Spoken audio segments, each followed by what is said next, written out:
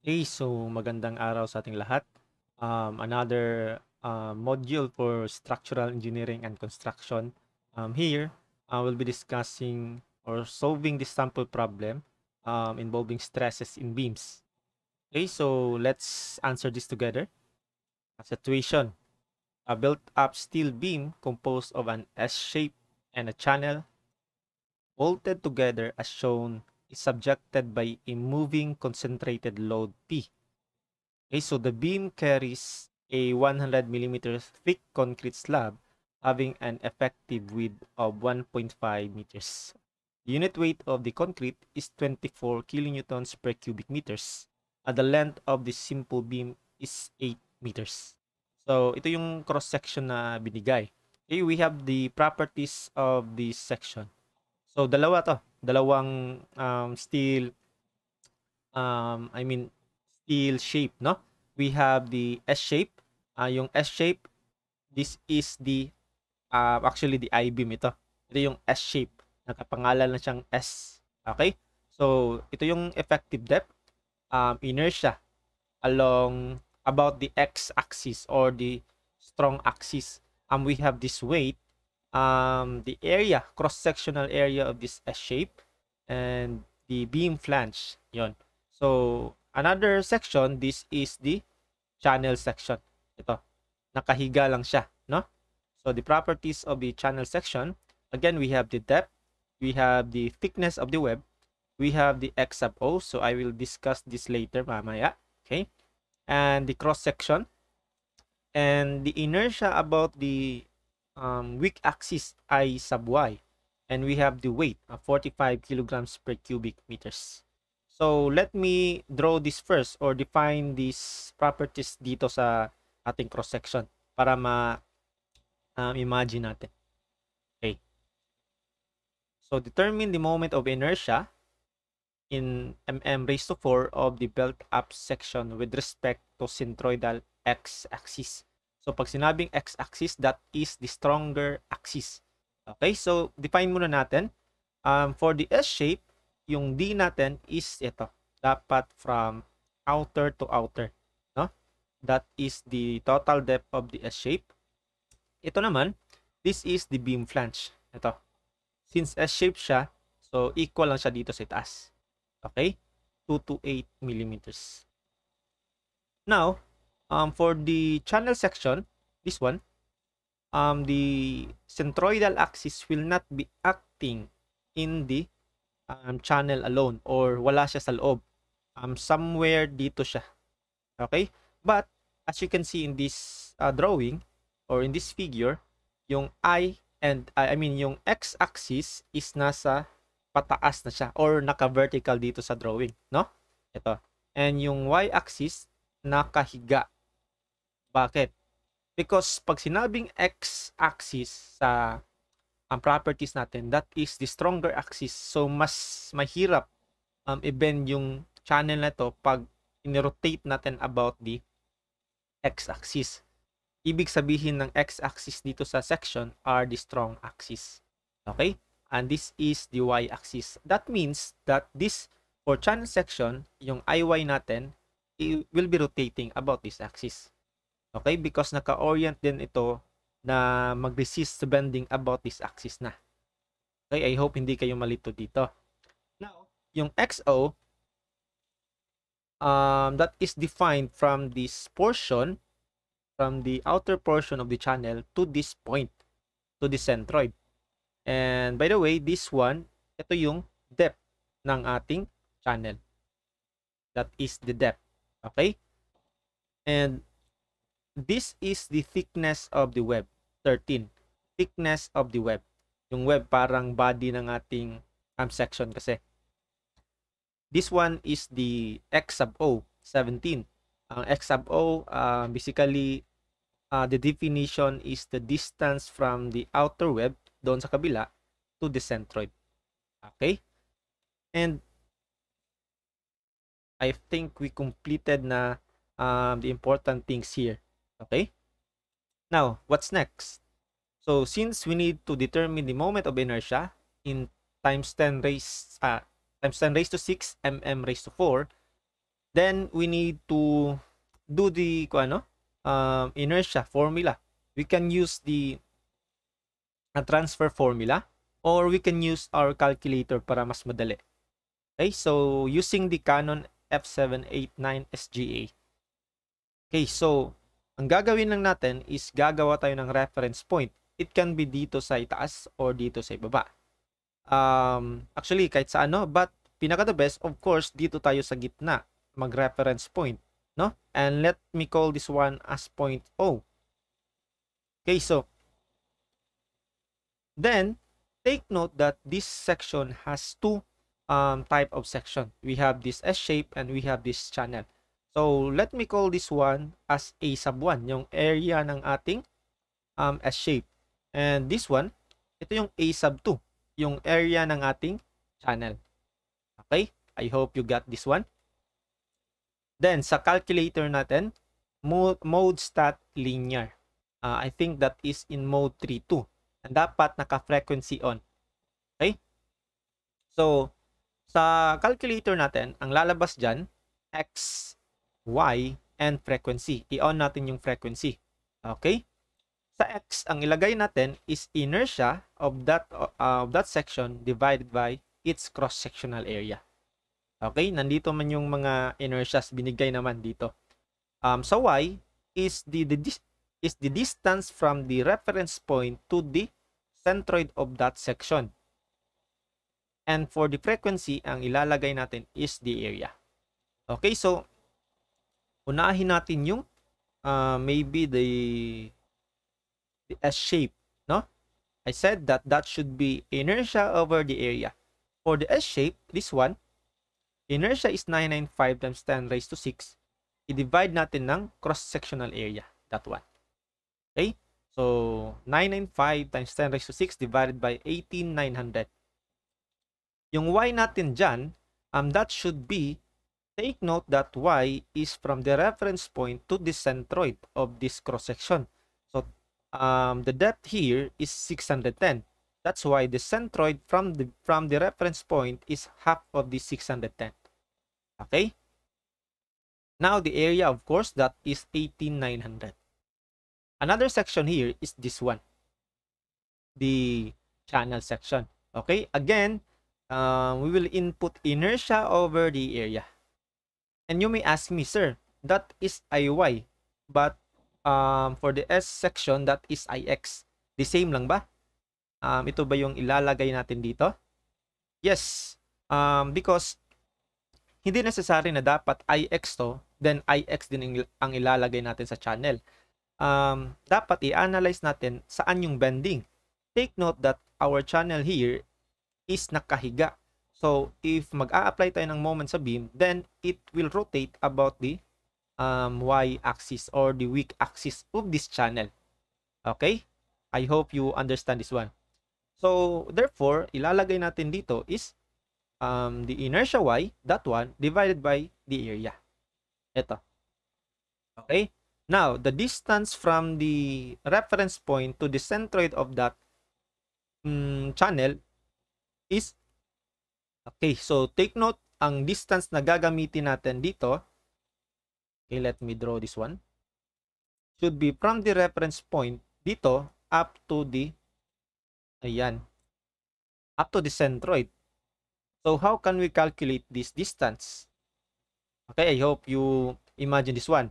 So, from here, we can use these uh, dimensions, i-add lang natin, then i-minus. From here, up to that point, that is 610. Ito. Okay? Then, uh, from here up to that point, that is 13. So, plus 13. Then, i-minus natin yung 17. Kaya, babalik tayo sa centroid. Okay? Now, the area. Of course, the area is, ah, ito, 5690. Okay? So, ano yung gagawin natin sa calculator natin? So, from here, ito yung syntax. Hanapin natin sa calculator yung barred y. Itong barred y na to, ito yung um, distance from the reference point to the centroid of the built-up section. Remember, pag binilt up natin, magkakaroon niya ng composite action. Parang naging isa sila, na-combine sila. Okay? Well, it depends naman sa um, connection natin if ma if strong ba yung connection, no? Pag hindi strong yung connection, of course, hindi sila bubuo, bubuo ng um, composite action. Well, in this case, alam naman natin, pag dine-design natin, dapat composite talaga siya. Okay? So, inner, uh, I mean the barred Y, that is the distance from the reference point to the centroid of the belt up section. So, yan, makukuha natin yan.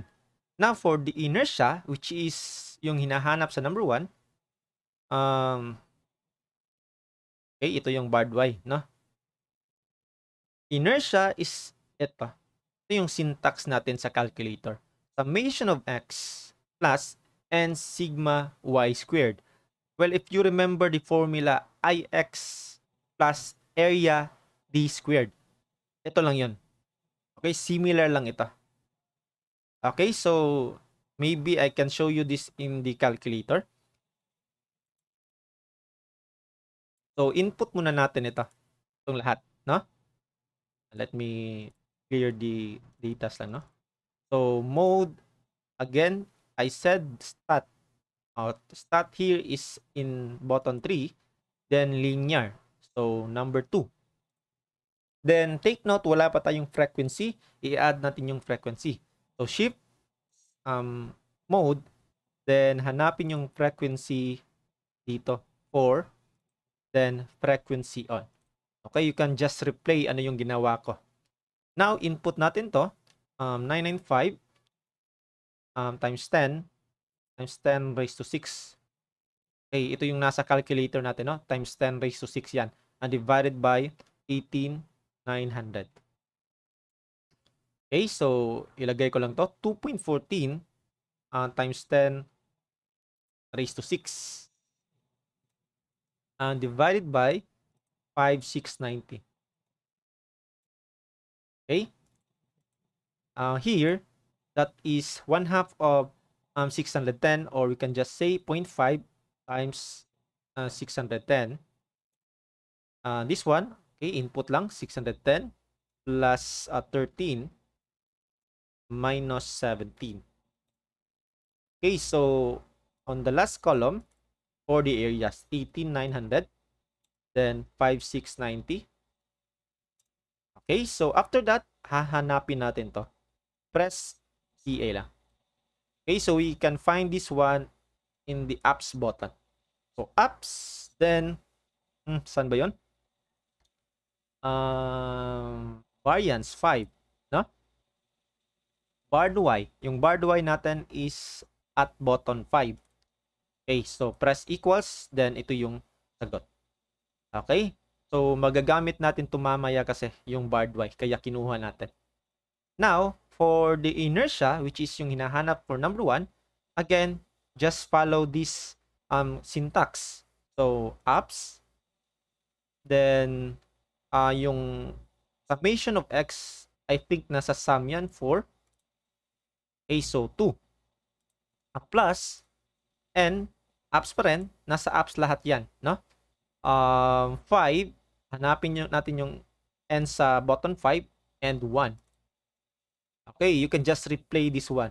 Then, yung sigma y squared, apps, um, saan ba yun? I think nasa 4. Ah, wala, wala. Um, apps, um, variance, S variance. So, sigma y squared, ito siya. Ganito nakalagay sa calculator na to. Iba siya sa uh, 570 or 991 ES plus, no? Y sigma n yung nakalagay dito. Okay? So, the same lang yan. Yung sigma y squared or y sigma n, 6. Then, square natin siya. Yun. So, here, we can calculate na the inertia. Which is, ito yun. Okay, divide natin by 10 raised to 6. At 10 raised to 6. Then, ito yun. 1393.37 which is a letter A sa choices. Okay? I hope you get this one. Or, i-rewind nyo lang talaga. Mag-gets nyo lang to. Okay, so, uh, we have answer for number 1. Then, for number 2, if P is 180 kilonewtons, ang calculate the maximum bending stress in the beam. Okay, so take note that the P is a moving load. So tayo yung magde-decide kung saan natin ilalagay yan para magkakaroon tayo ng maximum stress. Okay, kailan tayo magkakaroon ng maximum bending stress? That is when um, the moment is maximum also. So, if this is the simple simple beam which has a simple length of 8 meters, no? So, the P is a moving load. But take note that the beam alone, ito, may weight yan. Uniformly distributive load.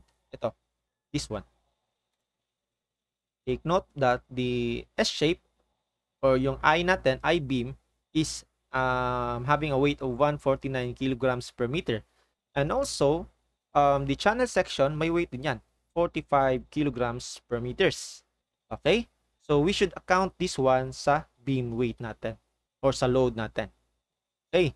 So, uh, let's call that W. And the uh, load P, concentrated load P is moving load. So I will just assume this one at a distance x from this endpoint. Okay, so define muna natin yung mga loads natin. Okay, take note. Um, the, this beam is carrying a slab having a thickness of um, saan ba yun? May nilagay ba na thickness? Ito. The, beam, the beam carries 100 mm thick concrete slab. Okay? And the effective width, ito, yung kine-carry niya is 100, uh, 1,500 millimeters or 1.5 meters. Okay? So, maa-add din natin ito sa weight ng ating W or uniformly distributed load. Now, um, the weight here, okay, unahin natin to. 149 kilograms per meter plus the weight of the channel i-multiply natin by 9.81 para maging newtons, i-divide natin by 1,000 para maging kilonewtons. Okay? So, maging kilonewtons meter to. Then, plus the uniformly distributive load na makakos ng ating slab dito sa taas. So, that is unit weight of the concrete, 24 kilonewtons per cubic meters, uh, multiplied by this cross-sectional area. Uh, 1.5, ginawa ko siyang meters, uh, multiplied by 0.1 meters. So here, we have the weight or the uniformly distributive load. Now, and the question here is saan natin ilalagay or ano yung position ng P to induce a maximum moment. Okay. Ano sa palagay nyo? Dapat yung P natin, ilalagay natin siya sa ating midspan. Of course, no? if ilalagay natin yan sa midspan, then it will create a maximum moment because magbe-bend yung ating beam in uh, this uh, position, no? Ito yung elastic curve. So, of course, um, logical naman, pag nasa gitna talaga yan, mas magbe-bend yung ating beam. Okay? Okay, proceeding. So, we need to calculate first the moment here at the midspan the moment here should be the maximum moment. Okay, so take note for uniformly distributive load, the maximum um, bending moment is given by this formula, WL squared over 8. Okay, now for P naman, if P is at the center of the beam, we have this formula, PL cubed over 4. I mean, PL over 4 lang. Okay, Okay, so direct substitution lang. The W is 5.5, L is 8, uh, divided by 8. P is 180, L is 8 pa rin, divided by 4. So we have uh, the maximum moment as 404 kilonewtons meter. Now we can calculate directly our uh, maximum bending stress by using the formula my over i. Okay. So, ano yung y natin? The moment is 404. This one. Okay? Um, the y, hindi pa natin alam. Uh, yung i natin is yung nakuha natin kanina. Saan ba yun? Ah, dara, dara. Ito. Ito yung i natin. Okay? So, ano yung y natin? Para magkaroon tayo ng maximum bending stress. Okay, so as you remember, uh, y is the distance, any distance from the centroid to the um, portion of the beam. So in order for that, our maximum, uh, our bending stress is maximum, dapat maximum din, din yung y natin. Or actually, um, naka-generalize siya as C in the formula. Pag maximum bending stress, uh, this is MC over I. Okay, so since hindi naka-specify if that is compression or tension, then we can use the absolute value of the bending stress maximum. Okay, so take note that this one is 374.65. I-check daw natin ito from here up to this point kung ano yung distance na yan. Baka hindi scale yung drawing natin, no? Then pipiliin natin sa kanilang dalawa yung um, ano yung maximum ano? Lang ha? So, ang hinahanap ito maximum bending stress in the beam lang. So, uh, we may not include this slab dito sa taas. Okay? So, ang pagpipilian natin is this distance or up to this distance lang. Well, obviously, parang mas malaki talaga ito because mag-shift yung centroid natin pa itaas. Okay, so diretso na pala tayo. Ito yung gagamitin nating bar, uh, I mean y dito. Maximum distance from the centroid. Okay? I hope you get this one. So, direct substitution. Uh, moment is 404. Um, y is 374.65 divided by the inertia. That one. So, here, we have the answer 108.62 megapascals. Okay, ayos. Right? So, uh, number three, situational to. So, if the bolts are spaced at 100 millimeters, uh, find the maximum horizontal shear stress that can be resisted on the contact surface uh, between the channel and the wide flange. Okay, so this is the channel. Of course, this is the wide flange. Yung contact surface na sinasabi dyan is ito. Of course, may contact sila dito. Okay? So, at that point, um, actually, pag walang bolt, ito yung bolts natin. Yan. Actually, pag walang bolt dito, magsa-slide lang siya. Okay? Um, hindi siya magkakaroon ng composite action. But because of this, of this bolt, kaya naging solid yung ating um, beam or ating built-up section. So, ano daw yung maximum shear stress at this portion if the spacing of the bolts is 100 mm. So we can use the formula here or we can use the um, principle talaga or actual sol manual solution. Okay, so spacing daw is 100 millimeters. Okay, so ito yon. Ito yung sinasabi niyang spacing. Pag ito yung um, ating um, view, makikita natin yung bolts dito nakalagay dyan. Okay, I hope you can um, imagine this one. So, ano daw yung maximum shear stress dyan pag 100 mm yung bolt? So, kadalasan yung nasosolve natin mga problems is spacing yung hinahanap. And we have the formula of that, no? But here, yung shear stress dito yung hahanapin. So, ganito siya, um, dinerive yung formula na yon. Yon. Okay, tinanggal ko lang yung channel natin. Now, we will use a tributary width dito sa bolt natin. That is our tributary width. Um, that is also spacing S. Okay? S din yan. Now, um, the, uh, we can have the force here because of the shear stress at this um, portion. Okay, ito yung force due to the shear stress at that portion. And we can equate this one to the um, force uh, resisting resistant force of the bolt natin. Take note that the bolt has a shearing resistance and that is called R. No? Now, equating these forces for equilibrium, take note that the force here is due to the shear stress of the on this portion sa beam natin. So, shear stress, uh, that is denoted as F sub B. Then, the area here is, ano yung area natin dito? The tributary width.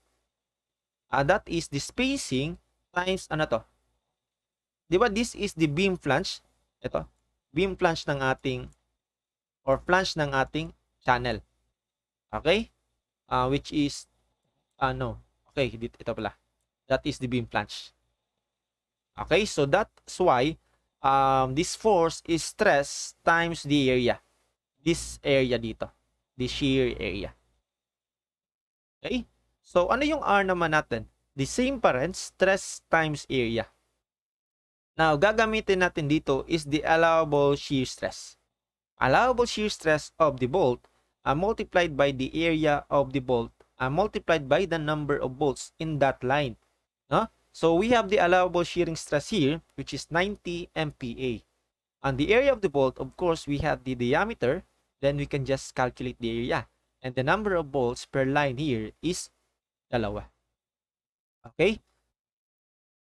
Now, we can calculate the shear stress here um, by using this one lang. No? Okay, substitute um, the spacing is 100 millimeters um, beam flange or the contact surface actually this one is defined as the contact thickness or contact surface sa ating um, flange and the um, um, channel section okay so allowable is 90 area of the bolt is pi over 4 times the diameter bolt which is 25 uh, multiplied by the number of bolts per line okay So here we can calculate the shear stress as 3.87 megapascal. Okay. So, what if hindi nyo alam to? Uh, medyo malito kayo no pag um, sa pag-imagine ng drawing natin. So, if alam nyo yung formula, 'di ba may spacing formula tayo dito? Okay? Ano 'yun? So, yung spacing formula for the bolt, no? So, if alam nyo to, pwede rin. Uh, i-rearrange lang natin ito. No? So, take note that yung shear stress na hinahanap is given by this formula. The shear stress, horizontal shear stress. Now, um, this term, VQ over I, ito pala, ito. Yung VQ over I is present dito. Which is ito. Okay, kita nyo? present yung BQ over I natin dyan. So, we can just rearrange this one. Okay, I just rearrange this one. BQ over I and it can be R over S dito. Okay, just follow this one. Parang i-cross multiply lang natin tong term dito sa taas, then ito rin. Then, i-substitute natin yung BQ over I that is R over S dito. So, that's why and this formula magiging R over ST. Gets? Yung VQ over I na to, ito, is R over S. So, R over S, then i-multiply natin by the thickness. Okay? So, the thickness here, or the T, is the contact thickness uh, between two bodies. So, uh, the contact thickness, of course, ito yung beam flange natin. Okay? So, substitute natin Again, yung R is defined as the resisting force, the resisting shearing force sa ating bolt. So, allowable shear stress times the area of the bolt times the number of bolt per line and divided by the spacing 100 millimeters times the contact thickness which is here the beam flange 228. Okay? So the same lang yan yung um, sagot dito. 3.87 and that is letter Okay, so that's is uh, that's it for this um, example.